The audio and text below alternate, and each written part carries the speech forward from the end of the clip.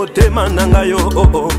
umela prezida na ngai umela papa tiseketi umela umela umela umela papa na ngai yo oh, oh, oh. Mon président Chilombo. Le cardinal Laurent Monsengo est mort. L'archevêque émérite de Kinshasa a tiré sa référence ce dimanche en France. L'information confirmée par un communiqué de la chancellerie de l'archidiocèse de Kinshasa fait la une, vous l'avez compris, de ce journal magazine aux côtés d'un intéressant dossier sur la vente des lunettes médicales dans les rues de Kinshasa. Mesdames, Messieurs, bonsoir et bienvenue à cette grande édition du journal du dimanche qui s'ouvre par l'actualité.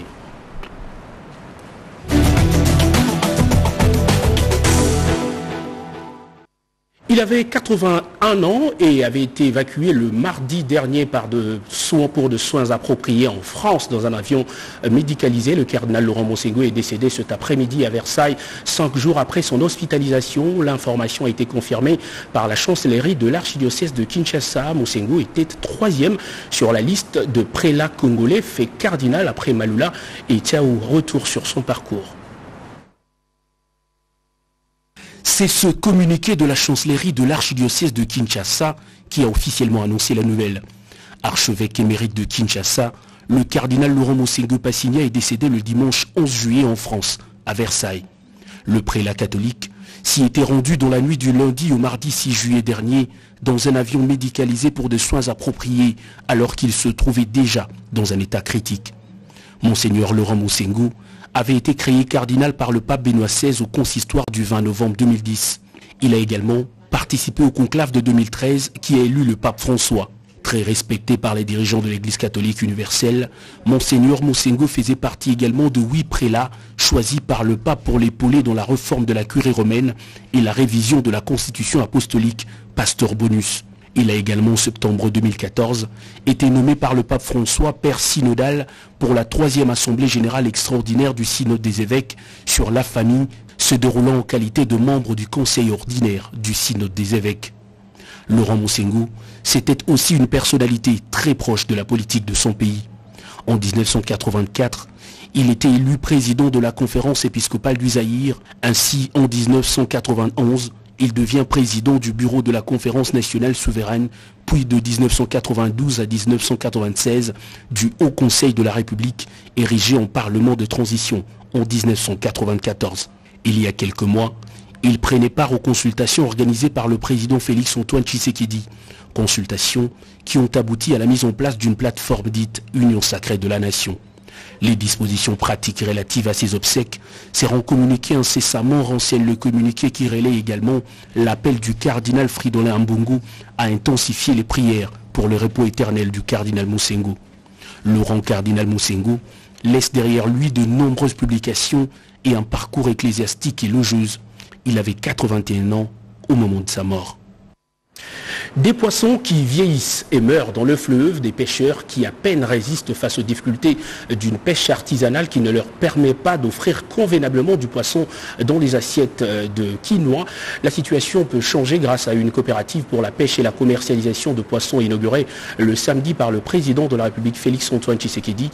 La restitution du port de pêcheurs spoliés a également refait surface le même jour. Blandine Zovo.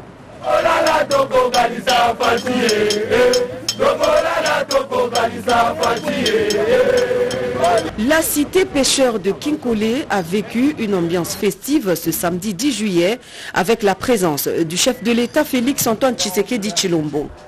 La vie s'est presque arrêtée sur toutes les artères de ce grand quartier de la commune de Lincélé.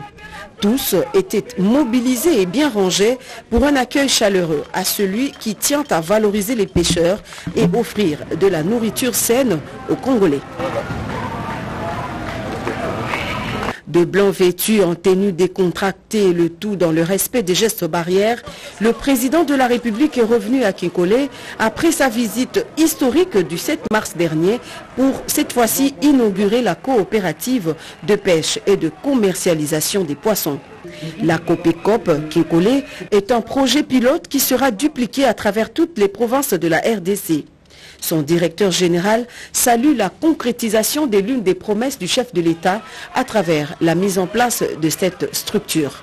Trois principaux objectifs sont assignés à la COPECOP. Il s'agit d'abord de développer les activités de la pêche à travers Kinkole et ses environs. Ensuite, améliorer et faciliter la production et la commercialisation des produits de pêche.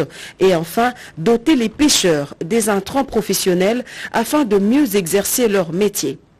Pour le ministre de tutelle, la coopérative va également octroyer des crédits aux membres affiliés en vue de leur faciliter le travail. Une manière pour le garant de la nation de soulager la situation socio-professionnelle des pêcheurs. On de produits. Et puis l'aquaculture et tout ça, pensez à ça. La coopérative de pêche et de commercialisation de poissons est une concrétisation de l'une des promesses faites aux pêcheurs par le chef de l'État lors de son récent passage à la cité de Kinkole où Félix Antoine Tshisekedi Chilombo avait pris langue avec les pêcheurs du poule Malébo, leur rassurant de son implication personnelle afin de valoriser la pêche en République démocratique du Congo et permettre à ce corps de métier d'accomplir réellement son devoir alimentaire et donner l'occasion à la population quinoise de chasser de leurs assiettes de la nourriture importée réputée impropre et nocive à la santé.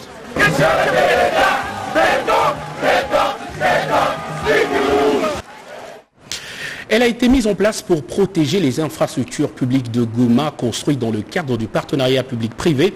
Le cadre de concertation et participation citoyenne est désormais institutionnalisé par un arrêté signé par le maire policier de cette ville de précision dans son reportage.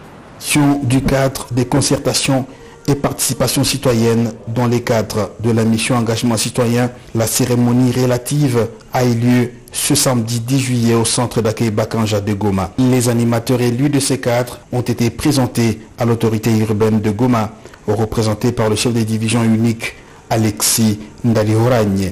Ils sont organisés par venus, quartier, commune et la mairie de Goma. Le coordonnateur de la commission justice et paix de la Caritas Goma a circonscrit la mission engagement citoyen. Gilbert Dego a insisté sur la bonne gouvernance et la pérennisation des infrastructures. La mission engagement citoyen vise particulièrement la promotion de la gouvernance locale ouverte pour la pleine participation citoyenne ou l'exercice de la démocratie participative à la base. Le représentant du maire de Goma a reconnu l'importance de la mission engagement citoyen. Il a appelé tout le monde à s'impliquer dans la protection des infrastructures publiques, dont la construction et l'effort de tous. Nous devons réussir ensemble, a-t-il martelé, avant de demander aux animateurs élus de se sentir désormais plus proches de l'autorité urbaine. C'est dans ce contexte-là que la République démocratique du Congo a tissé des liens avec la Banque mondiale. La Banque mondiale qui est en train d'implémenter plusieurs projets dans la République et dans la ville de Goma en particulier, où nous ne cessons de parler du projet de développement urbain dont la ville est le maître de l'ouvrage. Séance tenante, l'arrêté urbain portant création, organisation et fonctionnement du cadre de concertation et de participation citoyenne à Goma a été lu et remis aux animateurs. La porte-parole des animateurs élus a promis de faire preuve d'une protection des infrastructures publiques lors des manifestations. L'électrification de milieux ruraux évoquée au cours des échanges que le Premier ministre Samal Koundé a eu avec une délégation canadienne, Patti Tundwango, revient en détail sur cette discussion.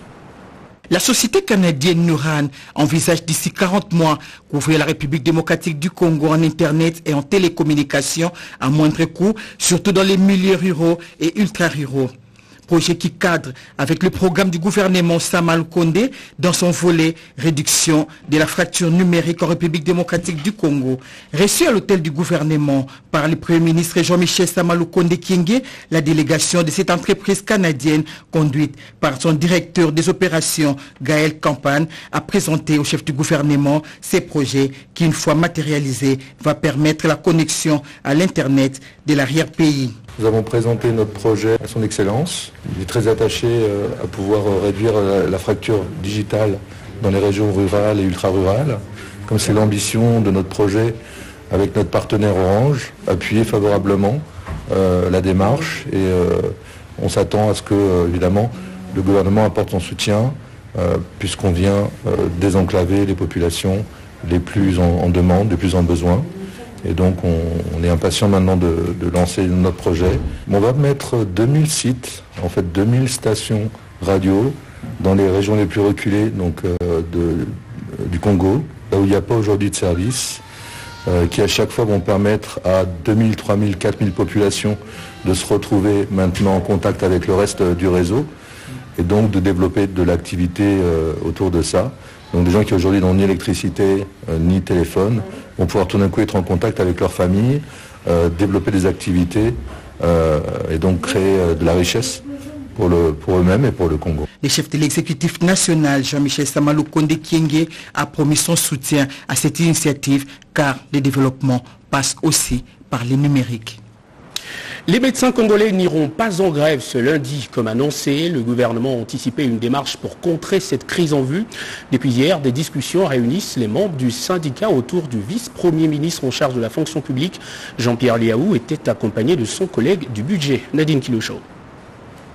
Vers une solution aux revendications des médecins, le vice-premier ministre, ministre de la fonction publique Jean-Pierre Liaou, représentant personnel du premier ministre, avec à ses côtés le ministre d'État, ministre du budget Boji Sangara et le ministre de la Santé Jean-Jacques Bungani, a présidé une importante réunion avec le banc syndical des médecins. Parmi les décisions, la mise en place d'une commission devant examiner la solution concrète aux revendications des médecins. Le gouvernement a demandé aux médecins de leur position d'aller en grève. En guise de réponse, le bon syndical a estimé devoir d'abord se référer à l'Assemblée générale à qui il va faire rapport des propositions du gouvernement. Le gouvernement de la République est disposé à faire le pas attendu par les médecins et nous espérons que la cellule technique mise en place aura à vider la question.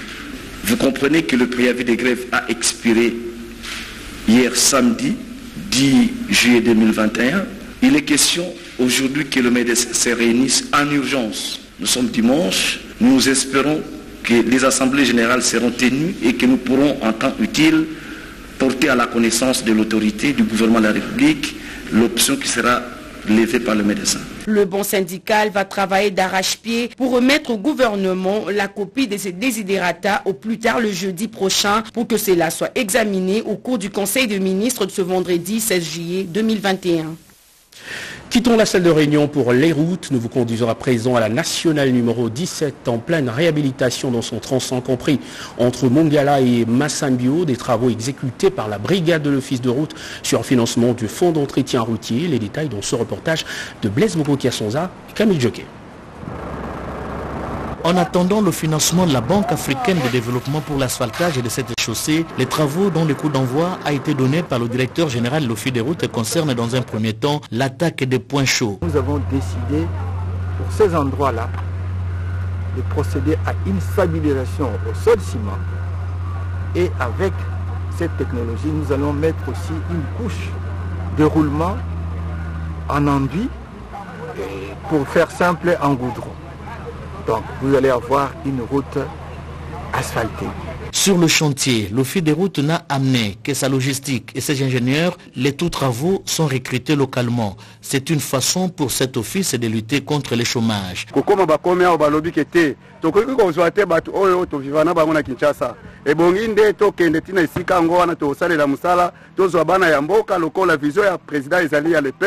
Ces travaux qui s'inscrivent dans le cadre de la vision du chef de l'État Félix-Antoine Tshisekedi Chilombo de doter le pays des infrastructures routières appropriées sont ici salués par la notabilité de la province.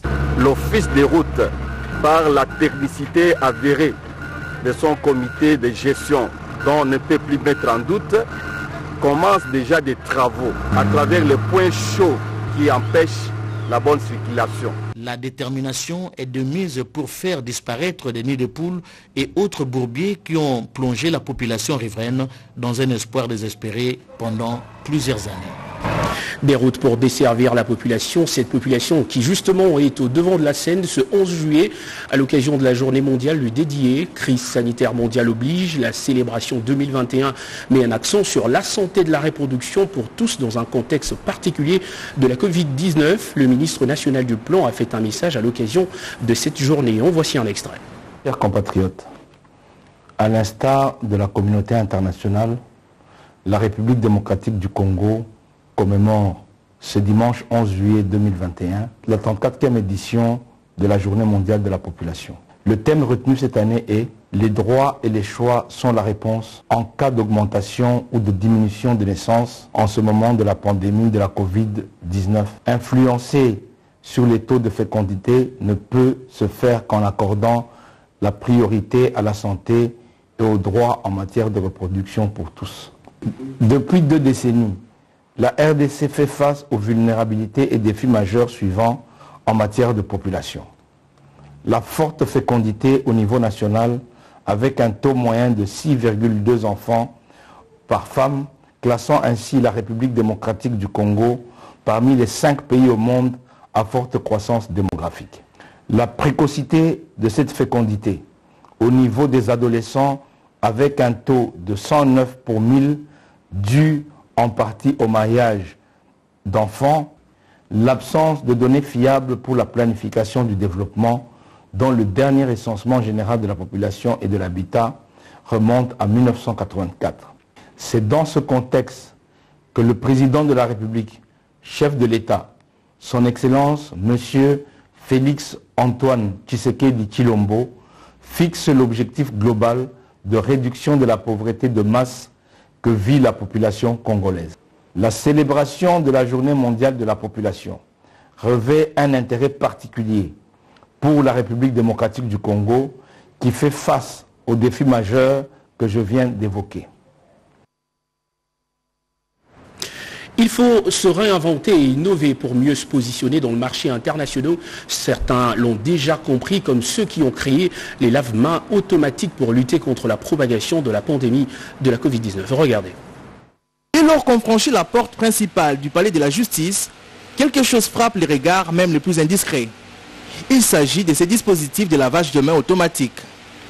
En cette période où la RDC fait face à la troisième vague de Covid-19, l'Agence japonaise de coopération internationale JICA, en réponse à la requête du comité de riposte contre la Covid-19, a appuyé l'aménagement des dix dispositifs dans huit sites, ou mieux, huit structures publiques identifiées comme potentiellement à risque élevé de dissémination de la Covid-19. L'objectif de cette dotation est de contribuer à la prévention et au contrôle du Covid dans la communauté, comme le dit le représentant résident de la JICA, Kazunao Shibata, qui a procédé ce lundi 5 juillet à la remise officielle de ces dispositifs à l'intendant du palais de la justice. Nous consacrons grands efforts euh, au secteur de la santé euh, ces dernières. La même cérémonie de remise officielle s'est déroulée un peu plus tôt à la prison d'Indolo et dans la soirée du même jour à l'INRB en présence du docteur Mouyembe. Madame Thérèse vient donc innover en nous mettant tout un système, tout, tout est automatique. C'est formidable, nous sommes vraiment très contents. Women's Technology est l'entreprise qui a conçu ces dispositifs. Sa directrice Thérèse Isaï Kirongozi, elle-même ancienne stagiaire de la JICA, s'est chargée à chaque fois de fournir les explications sur le fonctionnement de cette nouvelle technologie. Sans toucher quelque chose, je peux nettoyer mes mains. Les dispositifs dotés disposent de plusieurs points d'eau, des débiteurs de savon liquide, des sèches-mains, tous automatiques, avec un détecteur de présence. La prise de température avec alarme en cas de fièvre et les comptes personnes ont été aussi intégrés dans l'ouvrage.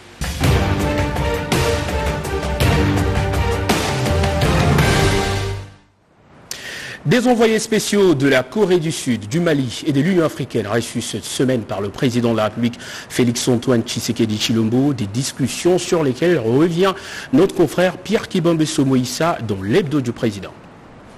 Bientôt la création d'une agence africaine de médicaments. Le chef de l'État, Félix-Antoine Tshisekedi Chilombo, a promis de s'y impliquer en sa qualité de président en exercice de l'Union africaine.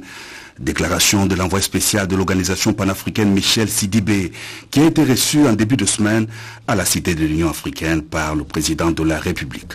Le projet de matérialisation de ces méga organes sanitaires date de 2019. La demande de ratification est faite aux 55 États africains pour sa mise en place effective afin de valoriser entre autres la flore africaine qui regorge de véritables trésors en pharmacopée, a souligné les hauts fonctionnaires africains. Renforcement de relations bilatérales d'amitié et de coopération entre Kinshasa et Séoul. Les sujets étaient au menu des échanges que le président de la République Félix-Antoine Tshisekedi Chilombo a eu avec le vice-ministre sud-coréen des Affaires étrangères Am Sang-wok. L'homme d'État sud-coréen était conduit auprès du chef de l'État par le vice-premier ministre, ministre des Affaires étrangères Christophe Lutundola Apala. Il a indiqué au sortir de cette entrevue que son entretien avec le président de la République était axé principalement sur des questions relatives à l'approfondissement de relations bilatérales dans les domaines politiques, économiques, culturels et de la santé. Reçu à son tour par le président de la République, Abdoulaye Diop, ministre malien des Affaires étrangères de la coopération internationale, était porteur d'un message du colonel Assimi Goïta, président de la transition du Mali, au chef de l'État président de l'Union africaine, Félix Antoine Tshisekedi Chilombo. Le Mali a besoin de plus de solidarité pour la réussite de la transition qui devra aboutir à l'organisation des élections transparentes et crédibles, a dit le ministre Abdoulaye Diop. Par visioconférence, à partir de son cabinet de travail à la Cité de l'Union africaine, le chef de l'État, Félix-Antoine Tshisekedi Chilombo, a présidé la 11e réunion du Conseil des ministres. La communication du chef de l'État a porté sur trois grands points. L'intégration du génie militaire dans les travaux de construction des infrastructures publiques, la renégociation de certaines dispositions du contrat entre le gouvernement de la République et la société DP World pour la construction du port à eau profonde de Banana et l'obligation pour le gouvernement d'encadrer toutes les activités d'usage du cannabis pour des besoins médicaux. Enfin, une page noire. La famille présidentielle a été frappée par la disparition de la sœur cadette du patriarche Étienne Tshisekedi Wamulumba et la tante paternelle du chef de l'État, Eugénie Chikawa Mulumba, décédée le 25 mai 2021 à Johannesburg. Le président de la République et son épouse, la première dame Denise Nyakeru Tshisekedi et toute leur famille sont allés rendre le dernier hommage à l'illustre disparu, parlementaire honoraire et une combattante défenseuse de la démocratie au sein de son parti, l'Union pour la démocratie et le progrès social. Et notre hommage du couple présidentiel a été rendu à l'ancien sénateur Jacques Chimbombo Mukuna lors de la levée du corps à la morgue de l'hôpital du cinquantenaire. À toutes ces différentes cérémonies funéraires, on a noté la présence de plusieurs autorités politico-administratives. La levée des humilités du sénateur Matata Pogno, la poursuite de l'offensive de forces armées de la République contre les IDF en Nitori ou encore les obsèques du directeur général de la RTNC, autant de sujets exploités par notre rédaction cette semaine. Serge Mata nous en fait le résumé. Général et de l'identification de la population congolaise d'ici 2023 était cette semaine au quai de la réunion interministérielle présidée par le Premier ministre Jean-Michel Samalou Kondé. Une commission gouvernementale a d'ailleurs été mise en place afin de statuer sur la question. La Grande-Bretagne soutient les efforts des autorités compétentes dans la recherche de la paix en Ituri et au Nord Kivu. Son ambassadeur accrédité en République démocratique du Congo, Émilie Maltan, l'a dit au sorties de l'audience que lui a accordé le ministre de la Communication et Médias, Patrick Mouyaya. Le bureau du Sénat a autorisé des poursuites à l'encontre du sénateur Matata Pogno. Il a transmis les dossiers y afférents au procureur général près la Cour constitutionnelle. Le ministre de l'enseignement primaire, secondaire et technique, Tony Mwaba, a procédé mardi 6 juillet 2021 à la remise officielle du code des bonnes conduites du personnel enseignant responsable des sous-secteurs de l'EPST ainsi qu'aux partenaires éducatifs. Question de réglementer davantage la conduite enseignante pour prévenir et punir tout type de violence et maltraitance en milieu scolaire. La régularisation de la situation administrative des agents des services publics non payés, CCG a fait l'objet des échanges entre les vice-premiers ministres, ministre de la fonction publique,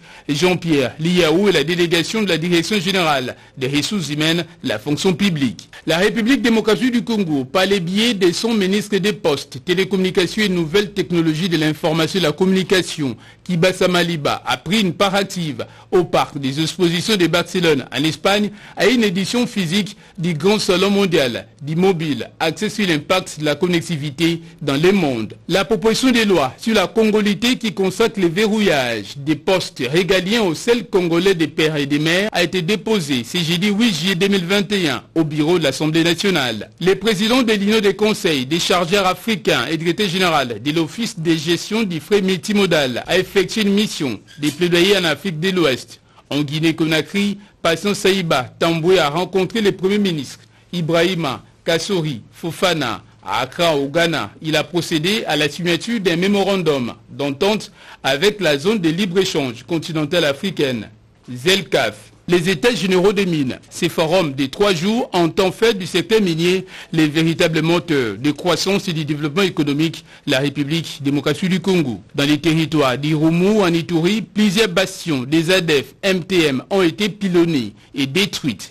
Afin de rétablir la paix et la stabilité dans cette partie du pays, les forces armées de la République démocratique du Congo poursuivent l'ennemi en débandade jusque dans ces derniers retranchements. Des graves dégâts matériels importants ont été enregistrés après la pluie diluvienne qui s'est abattue dans la nuit du samedi 26 au dimanche 27 juin 2021 dans les territoires de Luebo, au Kassai. Les vents violents ont emporté les toitures de plus de 300 maisons d'habitation, écoles, bâtiments administratifs, centres de santé ainsi qu'églises. Les succès de l'état de siège dans la restauration de la paix au nord Kivu, en Ituri, les caucus des députés élus du sud Kivu sollicitent la même expérience dans les provinces respectives afin de mettre un terme aux multiples actions perpétrées dans la plaine de Ruzizi. Décédé dans la nuit du jeudi 24 à vendredi 25 juin 2021 à Kinshasa, la dépouille mortelle du directeur général de la RTNC, Ernest Kabila Ilunga, a été conduit dans sa province d'origine, les Hauts-Katanga. Bien avant, le ministre de la Communication et des médias, porte-parole du gouvernement, Patrick Mouyaya, lui a rendu un dernier hommage. C'était au cours d'une cérémonie funéraire à laquelle plusieurs autorités du pays, cadres et agents de la RTNC ainsi que la famille biologique du défunt étaient rassemblés pour plairer l'illustre disparu.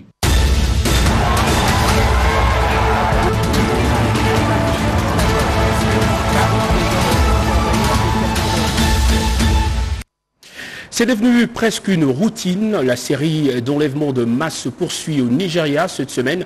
140 élèves ont encore été kidnappés. Pendant ce temps, le Botswana, lui, battait son propre record du troisième plus gros diamant du monde.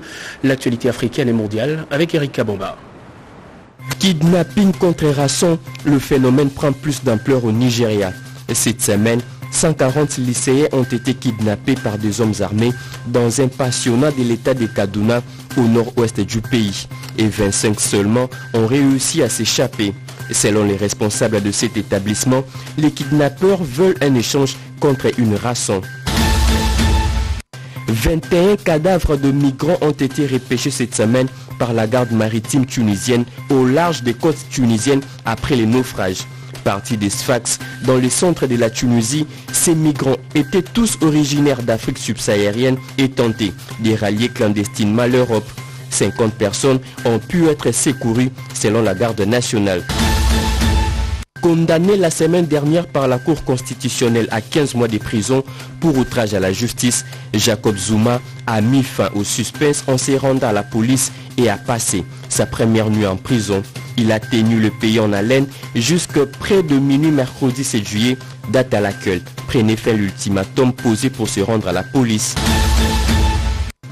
Le Maroc a dévoilé le lundi dernier un projet de fabrication locale du vaccin chinois Sinopharm contre la Covid-19. Ces projets de 421 millions de dollars visent à produire 5 millions de doses par mois. Un mémorandum d'attente a été signé entre le Royaume et le groupe pharmaceutique chinois Sinopharm. Un énorme diamant brut au reflet argenté a été découvert cette semaine au Botswana auprès de la société canadienne Lucara. Cette pierre précieuse de 1174 carats découverte vole la troisième place sur le podium du plus gros diamant au monde à une autre pierre trouvée quelques jours plus tôt, le 1er juin, dans le même pays. Cette dernière découverte conforte ainsi le Botswana dans sa position de leader sur la scène mondiale des plus gros diamants au monde. Plus de 50 morts et une trentaine de blessés, c'est le bilan d'un gigantesque incendie qui a ravagé une usine de fabrication de bonbons et des jus de fruits près de Dhaka, capitale du Bangladesh. De nombreux ouvriers ont dû sauter par le fenêtre pour se sauver. On ignore encore le nombre total de personnes qui s'est trouvé dans ces bâtiments de six étages, a annoncé la police. À deux semaines du début des Jeux Olympiques, la flamme olympique est arrivée à Tokyo sans public. Le gouvernement japonais a annoncé aussi que les épreuves de ces Jeux se tiendront à huis clos car le pays est en état d'urgence qui durera jusqu'au 22 août et couvrira toute la période des Jeux Olympiques qui se tiendront du 23 juillet au 8 août 2021.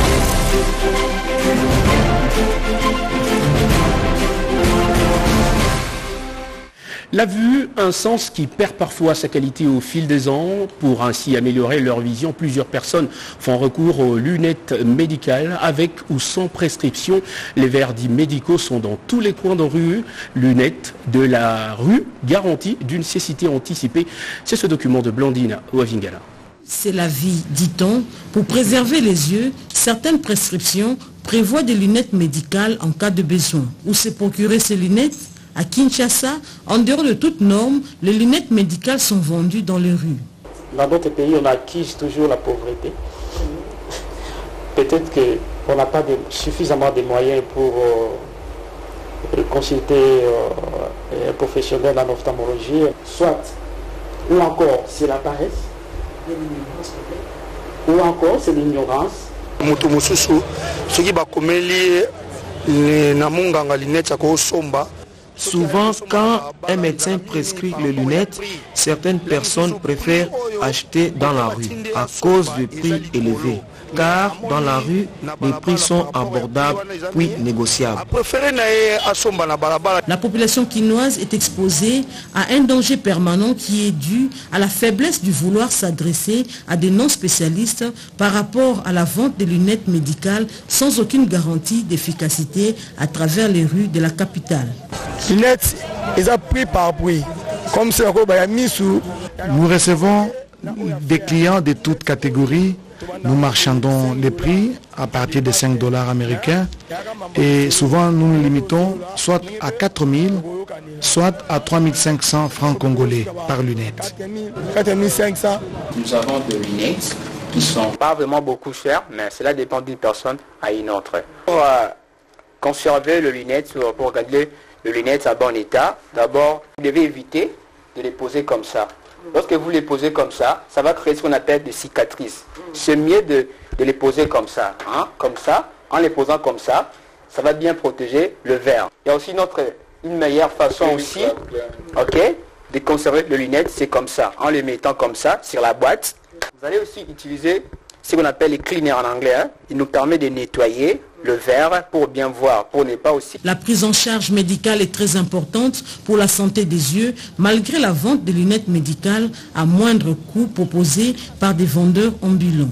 L'œil, c'est le miroir du corps. Toute personne doit passer par la consultation nécessairement pour rechercher s'il y a un problème euh, éventuel qui pourrait menacer la vision. Une maladie comme le glaucome, la maladie qui s'accompagne de la tension des yeux, souvent on, découvre cette maladie-là de manière fortuite. Donc la consultation permet de faire la mise au point.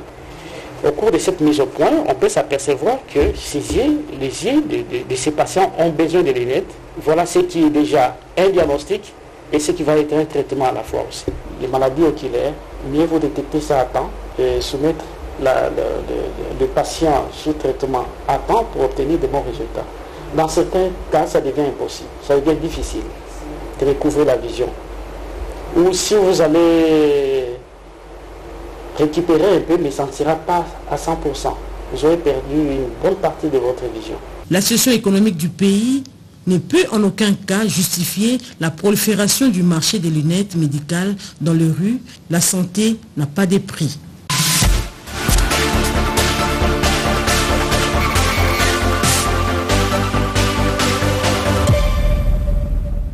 On reste sur le dernier dossier. Il vous faudra peut-être des lunettes pour constater la responsabilité des intellectuels dans la crise en République démocratique du Congo, tel que décrit euh, par Freddy Moulumba dans son nouvel ouvrage intitulé Réflexion euh, sur les responsabilités des intellectuels sur la crise en République démocratique du Congo. Et pour l'analyser, nous avons fait appel à notre chroniqueur Maison Mbouyal Magal. Bonsoir et bienvenue. Bonsoir.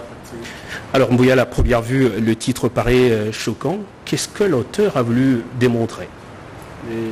C'est justement une manière d'interpeller, de saisir le, phénomène dans sa grandeur, saisir le phénomène dans sa chaleur, de, manière à tirer justement l'attention. Parce qu'il faut des formules choc pour saisir l'opinion, pour saisir son auditoire. Et je crois qu'à ce niveau-là, il doit, Freddy doit avoir certainement reçu, parce que euh, le livre porte un titre assez interpellateur. il faut justement que les gens se sentent interpellés il faut que les gens comprennent qu'il y a un problème. Parce que dès qu'il y a un problème et que les gens passent sous silence ce problème, c'est alors tout le monde est malade.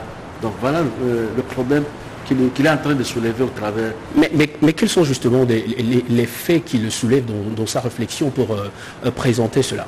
D'abord, il, parle de la, photographie de la société congolaise, notamment la catégorie sociale ou professionnelle des intellectuels.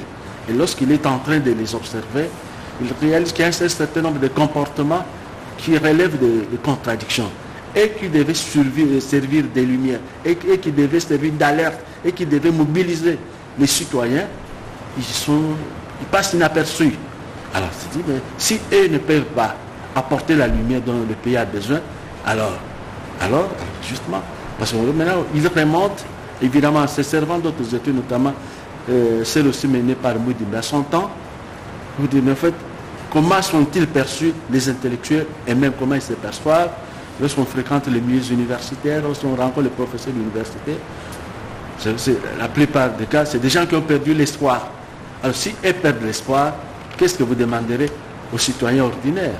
Si eux ont déjà perdu l'espoir, parce que les gens croient qu'avec eux, le pays peut avancer. Or, ils n'apportent rien. Ils ne voient, donc, ils ont des yeux pour ne pas voir ce qui se passe dans la société. Alors, voilà. Euh, un élément. Et puis, euh, Freddy cite euh, un cas de, notre professeur Mvezolo qui parlait que l'intellectuel congolais souffre de la lopéma, la longue et pénible maladie. Parce que généralement, dans les communiqués nécrologiques, on a pris l'habitude, celui qui a souffert longue et pénible maladie. Mais là, la lopéma est devenue une maladie généralisée à tous les intellectuels, parce qu'ils se retrouvent à gauche, à droite. Ils sont le choix entre aller en exil ou vivre la misère, ou c'est recoqueviller quoi. Donc voilà. Mais, on sait que lui-même, euh, auteur de ce livre, est un intellectuel, comme vous d'ailleurs. Euh, où se classe-t-il, l'auteur? Où se classe-t-il? Parmi ces gens euh, au comportement décriant ou bien il se met à l'écart Mais il se classe du, côté de, ce, qu'on peut considérer comme les chiens de garde, les veilleurs de conscience. Déjà, lorsqu'on publie un titre de cette nature, Et donc, on a cessé de on a déjà quitté cet univers-là pour retrouver un autre. C'est vrai que peut-être son, son, cas est difficilement identifiable, mais lorsqu'il se met à ouvrir des critiques assez sévères, lorsqu'il se met à, met à dénoncer ce qui ne marche pas, c'est qu'il aimerait que les choses changent. Il aimerait que dans l'univers des intellectuels, que les choses bougent, parce que le pays ne peut pas vivre euh, longtemps dans la crise, et puis les gens ne regardent pas. Ici, par exemple, le gars, évidemment, dans une société où on est habitué à vivre un peu l'accessoire, il s'interroge, mais est-ce que la société congolaise a besoin de ces intellectuels? Est-ce que la société congolaise a besoin de la science? Et ici, tout le cas, lorsqu'un professeur d'université meurt, si brillant soit-il, ça passe inaperçu même dans, le quartier où il vit, mais posez-vous, dès qu'il y a un musicien qui meurt, c'est tous les politiciens qui courent à gauche, à droite pour aller placer des jets de fleurs, et les mêmes s'ils apprennent qu'un professeur d'université. Évidemment, autour des morts, on, recherche toujours sa petite célébrité, la politisation pour se faire applaudir. Ça fait partie de la culture congolaise. Et dans l'opinion, on parle beaucoup des universités congolaises qui forment plus de littéraires que de, des techniciens, par exemple. Il y a, insuffisance dans, ce domaine-là. Mouyel, l'ouvrage paraît intéressant. Où euh, s'en procurer Évidemment, auprès de l'auteur. Freddy Moulumba déjà intérimaire à la RTC, c'est l'auteur. Pas de librairie, pas de... Bon, c'est publié, publié, aux éditions L'Armatan. Il y a le bureau L'Armatan quelque part à, Lingwala ou dans toutes les autres librairies. Mais bon, le lieu le plus, c'est auprès de l'auteur. Merci beaucoup Mbouyal Mangal. Je rappelle que vous êtes notre chroniqueur maison et avec vous, nous parlions, de cet ouvrage donc euh, sur la réflexion, les réflexions sur la responsabilité ou les responsabilités des intellectuels dont la crise en République démocratique du Congo. Un ouvrage de Freddy Mulumba Kabouai, directeur général ad interim de la RTNC. Poursuivons cette édition avec ce question relative au monde de l'emploi évoqué au cours d'une séance de travail entre la ministre en charge du travail et la représentante de l'Organisation internationale du travail, emploi des jeunes, formation professionnelle, sécurité sociale, des sujets très largement évoqués au cours de ces échanges. L'Organisation internationale du travail OIT entend apporter son accompagnement et son soutien indéfectible à la ministre de l'Emploi, Travail et Prévoyance sociale, Claudine Doussinkembe, durant tout son mandat à la tête de ce ministère. C'est la déclaration faite par Madame Aminata Maïga, représentante de l'OIT, Bureau pour six pays, Angola, République démocratique du Congo, République du Congo, République centrafricaine, Gabon et Tchad, basée à Kinshasa, arrivée fait mandat de sa mission. Au cœur de leurs échanges fructueux, les questions relatives au monde du travail en République démocratique du Congo.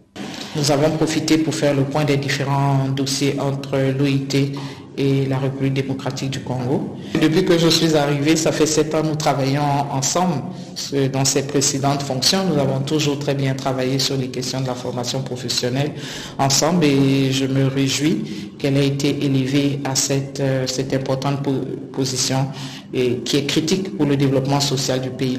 Signalons qu'après sept ans et demi, passé en République démocratique du Congo, Aminata Maïga va quitter Kinshasa à la fin de ce mois pour rejoindre son nouveau poste d'affectation à Yaoundé au Cameroun où elle a été promue par le directeur général du BIT comme responsable de l'équipe technique au travail de sang pour l'Afrique centrale. La formation, une question essentielle pour la République démocratique du Congo de plein pied dans la zone de libre-échange continentale africaine. La ZLECAF qui vient justement de signer un mémorandum d'entente avec l'Union des conseils de chargeurs africains représenté par son président Patient Saïba. Edi Chala revient sur la nature de cet accord. Ce voyage pour Patient Saïba Tamboué, président de l'Union des conseils des chargeurs africains, accompagné par son secrétaire général, Ogula Giscard Lilian, est un tournant décisif car les résultats engrangés sont le socle de tout le travail à venir au service du continent. Ces échanges avec le secrétaire général de la zone de libre-échange continentale africaine, Zlekaf Wamkelemene, sont l'aboutissement d'un processus mené avec célérité et pleine maîtrise des enjeux. L'engagement du directeur général de l'OGFREM et président de l'UCCA, couplé au réalisme du secrétaire général de la ZLECAF, ont produit ce mémorandum d'entente qui définit le cadre de collaboration entre les deux institutions. La signature de ce document implique donc que le secrétariat général de la ZLECAF, qui se démène au niveau stratégique, a désormais un bras opérationnel, l'UCCA. La signature ce jour du mémorandum d'entente ou du protocole d'accord de collaboration entre l'Union des conseils des chargeurs africains et la zone de libre-échange continentale africaine est le couronnement de la détermination partagée entre la SLECAF et l'UCCA pour voir une Afrique En quelques mois de discussion, il faut avouer que les convictions sont fortes chez les deux personnalités. 40 ans sur le terrain, à la lisière du secteur privé et public, l'UCCA entend bien jouer un rôle central dans la mise en œuvre de cette zone. Dans la perspective de doubler le taux du commerce intra-africain d'ici 2025, Patience Aïbatamboué et Wamkele Mene ont un défi à relever, celui de voir les marchandises circuler sur le continent sans barrière douanière. Fin de ce journal, je vous rappelle la principale information. Le cardinal Laurent Monsengo est décédé ce dimanche en France. L'archevêque émérite de Kinshasa avait 81 ans. La chancellerie de l'archidiocèse de Kinshasa qui officiellement annoncé la nouvelle a relayé également les condoléances du cardinal Ambongo à tous les fidèles euh, catholiques. Cette édition de Journal Magazine est maintenant terminée. L'actualité se poursuit sur nos antennes. Retrouvez à 23h Rick Indouzi. Le Journal Magazine revient le dimanche prochain. Bonsoir.